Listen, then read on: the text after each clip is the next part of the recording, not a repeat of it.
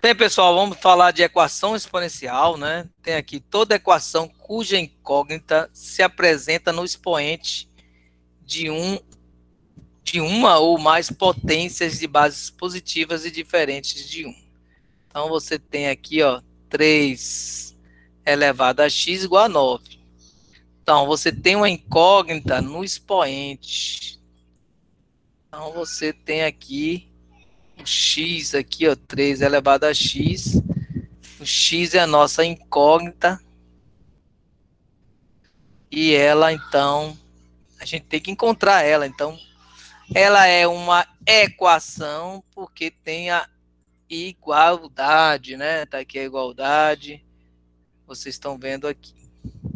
Ó, outra aqui também. Observe que as bases são positivas e diferentes de 1 outra igualdade aqui, né? Então aqui teve esses três exemplos aí para a gente ver rapidinho.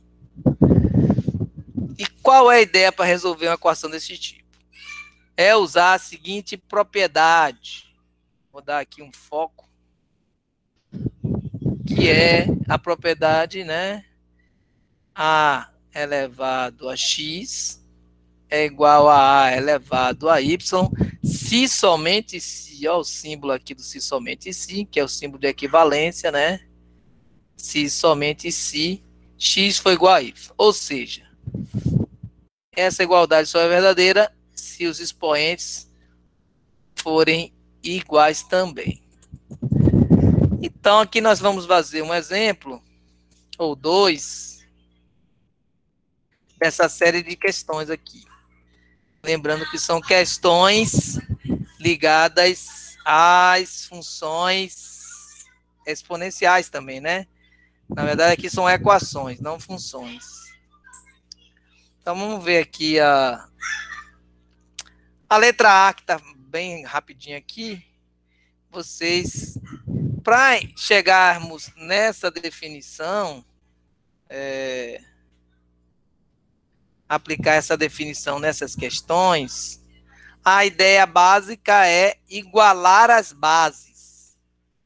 Vou pegar logo aqui um bem facinho, que é 13 elevado a x igual a 1, a letra D. Então, nós temos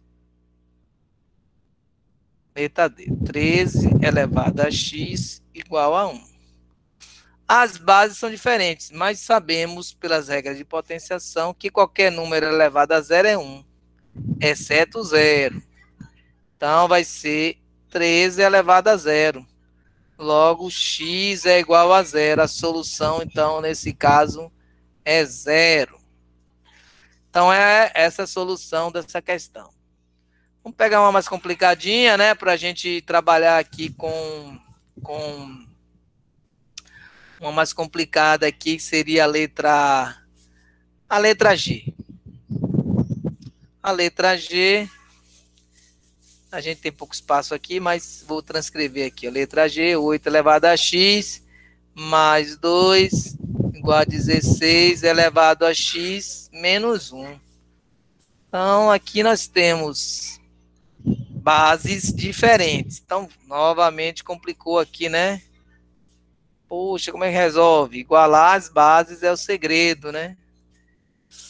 Então, nós sabemos que 8 é potência de 2, 2 ao cubo, né? 2 ao cubo, elevado a x mais 2. 16 também é potência de 2, é 2 a quarta, né? Então, todos dois aqui podem estar escritos. Aí vem uma regrinha, né, que é a potência de potência. Então, a potência de potência, você vai fazer o quê? Multiplicar os expoentes. Olha aí. Só que aqui tem que fazer a propriedade distributiva, né? É um produto uma soma.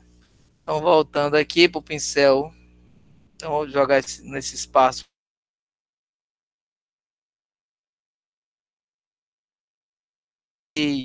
igual 2 elevado a 4x menos 4.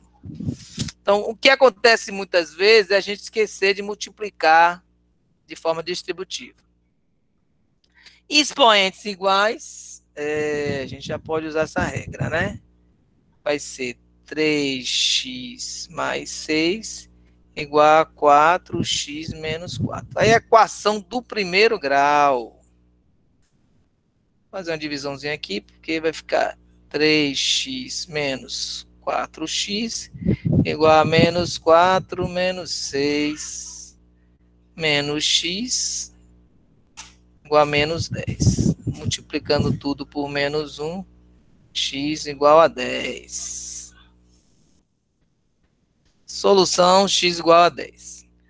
É, nós temos aqui também mais umas questões. Vamos, vamos apagar aqui. Está meio apertado. Vou apagar aqui com tudo gravadinho. Vamos fazer mais outro.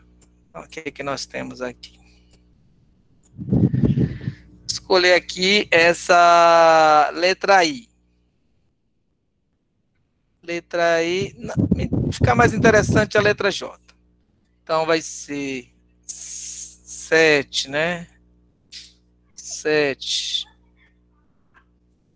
elevado a x ao quadrado menos 10x mais 16 igual a 1. Então, usando a ideia de potenciação, né, que nós vamos poder substituir o 1 por qualquer número elevado a zero, exceto o zero, 7 elevado a zero. Então, agora eu já posso usar essa regrinha aqui do ladinho, essa propriedade. Então, eu vou igualar os meus expoentes. O mais elegante é colocar aqui o símbolo de equivalente, né, gente? Ó, ó. Vai ser o quê? x ao quadrado menos 10x mais 16 igual a zero. Equação do segundo grau. Aí é só resolver aí Bhaskara, né? Caso você CB ao quadrado, menos 10 ao quadrado, menos 4 vezes A, que é 1, vezes C, que é 16. Então, aqui vai ser 100 menos 16 vezes 4. Faz aqui no cantinho, né? Depois apaga. 6 vezes 4, 24, vai 2. 4 mais 64. Opa, então dá 36 o 10 a raiz de delta, então, é 6. Então, aí nós temos é, que encontrar as raízes. Menos B, né? Opa, ficou tortinho demais aqui. Voltar. Espero que eu acerte aqui. Menos B vai ser mais 10. Raiz, mais ou menos 6. Duas vezes A é 2, né? Que o x, a, o a é 1. Então vai ser 16 por 2, 8. E 4 por 2, 2. Então, para resolver essa equação exponencial, nós temos uma, um conjunto de solução x igual a 2 e x igual a 8. É, fica o desafio para vocês, né? Responder as outras, né? Vale a pena aí vocês responderem as outras e praticar. Deixa eu ver se dá para fazer mais uma.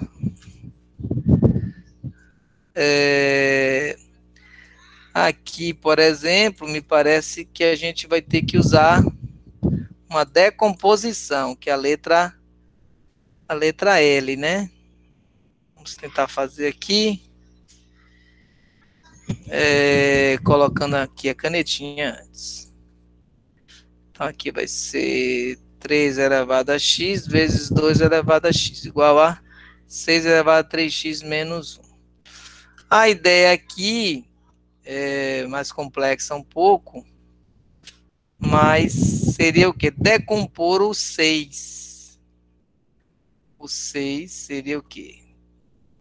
Vamos, aqui a gente não pode usar nenhuma propriedade, mas o 6 é 2 vezes 3.